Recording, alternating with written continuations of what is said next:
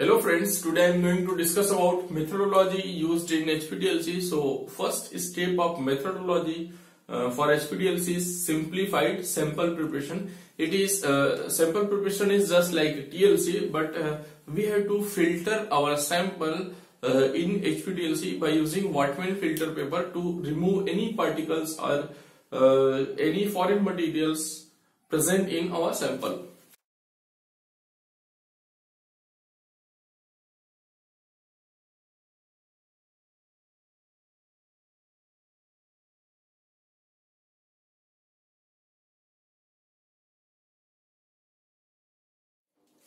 So these are the two important part of uh, simplified sample preparation. First one is volatile solvents will be used because uh, it will uh, readily uh, readily uh, evaporated from the surface of stationary phase and uh, due to uh, proper ev evaporation it will not spread in the stationary phase. So our band application will be proper. Second one is filtration by Whatman's filter paper. We can we can use Whatman filter paper number 1 or we can use Whatman filter paper number 42 for filtration of our sample. Because if proper solubility of our sample is not there then there may be chances of foreign particles or uh, insoluble particles present in our sample and that insoluble particle will choke our uh, HPTLC syringe and uh, HPTLC syringe is very costly so we have to take care means we have to uh, filter all our samples. Now coming to the second part which is method creation.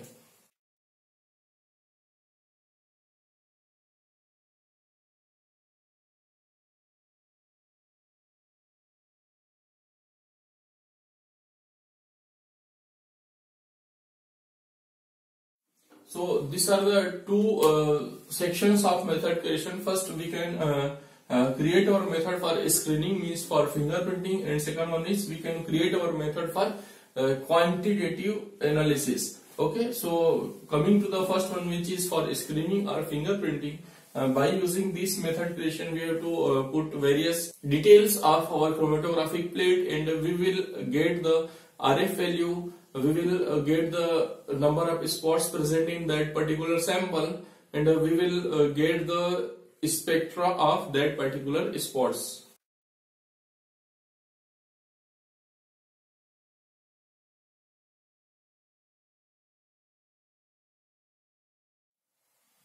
So by using screening method, we can determine RF value of our uh, spots present in our sample. We can determine how many spots or how many compounds present in our sample and uh, we can also know about spectra of selected spots okay now coming to the second one which is method creation for quantitative analysis uh, for method creation of quantitative analysis we can know about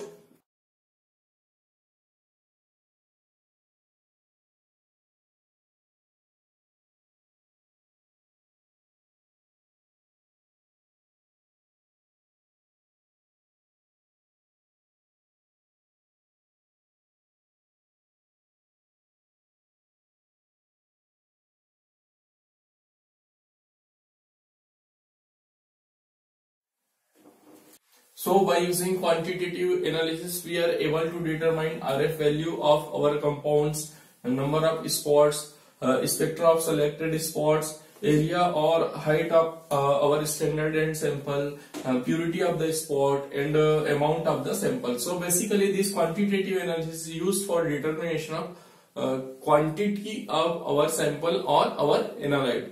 Okay, so by using this method we can uh, we are able to determine amount of our sample and this is the basic requirement for uh, this method creation of quantitative analysis. Now coming to the third step which is uh, sample application.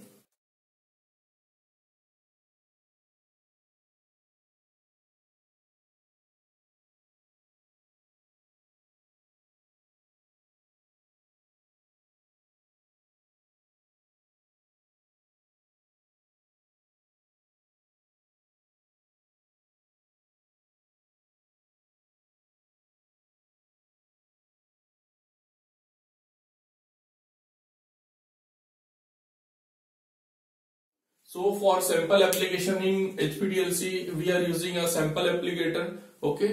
And this sample applicator is fitted with a syringe and the, that is a micro syringe of 100 microliter.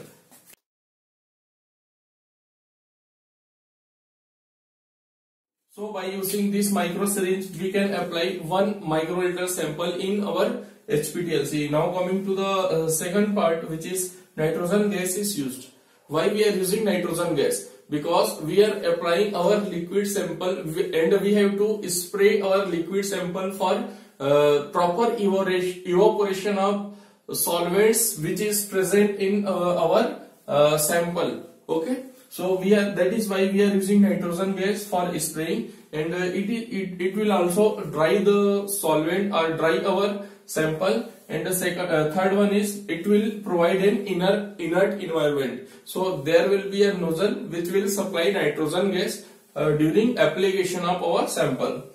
So next one is uh, position of bed it is very important for HPTLC in which position we are applying our sample. For example this is our HPTLC plate and uh, how we have to apply our uh, our sample so if we are applying our sample here, here, so it is very near to the bottom and we will, uh, when we will put this stationary phase in mobile phase, then it will dip in the mobile phase. So proper development will not be there. So we have to uh, take care that there should be proper distance from the bottom will be there. Okay. So we will put our band like this okay? So it is uh, around 2 centimeter away from the bottom. Okay? Next coming to the bandwidth. Means distance from this left corner to the uh, right corner how much distance is there? We have to take care okay for proper development of our chromatographic plate. Next one is distance between beds.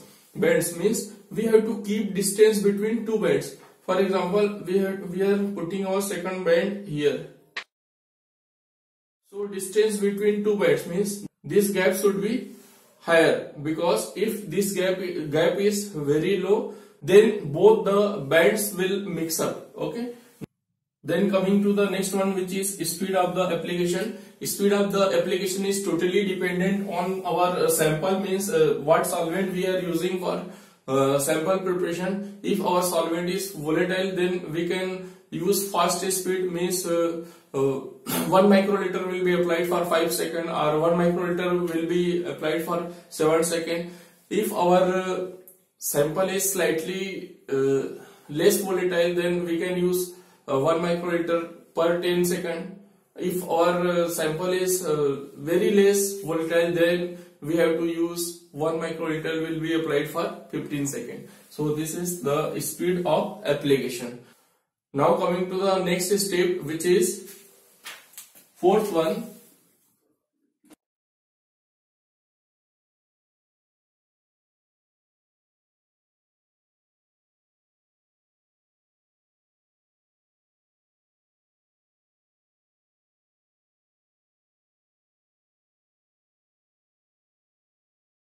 So fourth one is chromatographic development. In chromatographic development, we are using various uh, HPTLC chamber for development of our, of our uh, this sample applied HPTLC plate. So first one is twin trough chamber. As I have already discussed about twin trough chamber in TLC, it is most commonly used uh, because there will be a chamber which is uh, which is divided into two parts. Okay, so we can use this chamber for saving of our solvent. So it will be cost effective, and uh, we can develop our HPTLC uh, plate by using twin trough chamber. Second one is horizontal development. In horizontal development, we will put our uh, plate like this and there will be a wick uh, like this and from uh, and in this wick from uh, downside some solvent will be there and this solvent will run like this horizontally. So this is known as horizontal development. Next one is automatic multiple.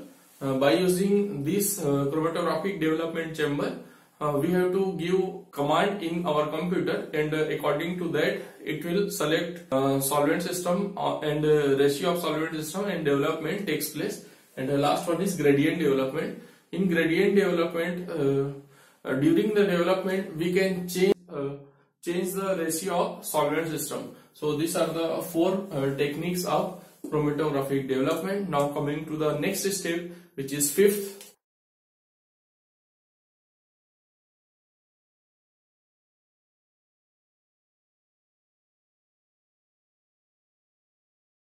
So fifth one is visualization. In visualization, photo documentation or documentation takes place. Apart from that, derivatization can also be done for proper visualization of our spots. What is photo documentation?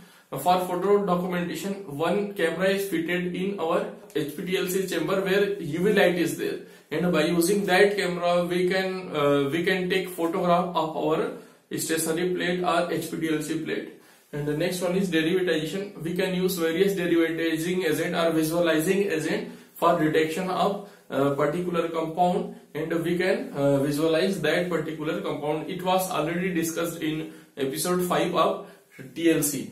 Now coming to the next step which is sixth one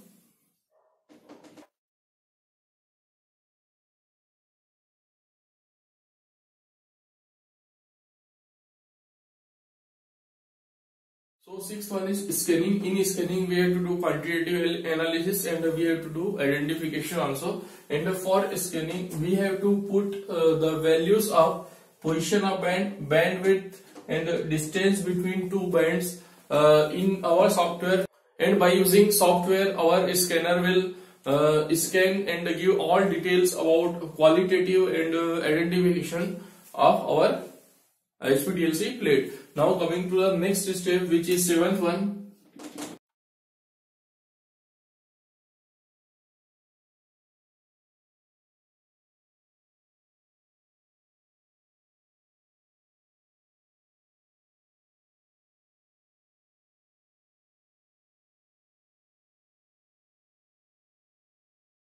So seventh one is evaluation of HPTLC plate. This software after this scanning we will get the result of evaluation in the form of RF value of each spot. We will get area of each spot. We will get height of each spot and we will get spectra of each spot. Apart from that we will get the purity of each spot. For example, uh, if we are having sample like this, it is a sample and there is a spot present here. Spot present here. So our HPTLC scanner will scan our spot from start position. This one start position of spot. It will scan from middle position of spot and it will scan from end position of spot. Okay?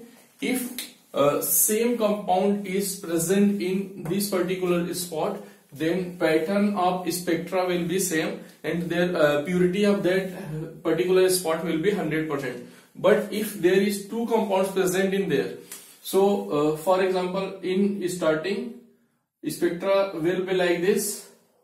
In middle also same compound is there. So same it will be like this. But if at the end different compound is there so spectra will be different. It may be different from this one. It may be like this so we can get to we can came to know about purity of uh, the spot means our spot is properly separated or not. So this is the overview about uh, methodology which is used in HPTLC method. Thank you